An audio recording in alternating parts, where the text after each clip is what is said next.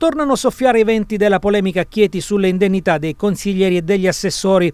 Dopo aver nuovamente spiegato che il ricavato del taglio delle stesse indennità andrà in un fondo, il sindaco del capoluogo teatino Diego Ferrara ha già aperto un conto corrente ed è ora pronto a mettere nero su bianco il tutto in una delibera che verrà presentata in Consiglio Comunale. Non ho fatto altro che ribadire la posizione mia e della Giunta, ovvero sia che la prima delibera ehm, eh, riguardante i nostri, eh, chiamiamoli, eh, emolumenti, c'era stata una leggerezza nella delibera per la quale noi avevamo deciso di devolvere il 7% a un fondo di beneficenza però non l'avevamo scritta esplicitamente sulla delibera.